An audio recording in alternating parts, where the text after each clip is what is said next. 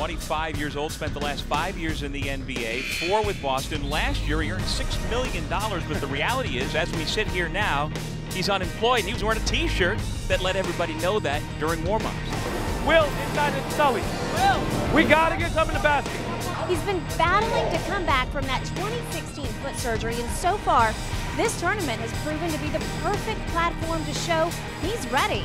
I'm impressed with the fact that he's able to, you know, make those outside shots, which is nowadays in the NBA critical for big guys to be able to stretch the floor.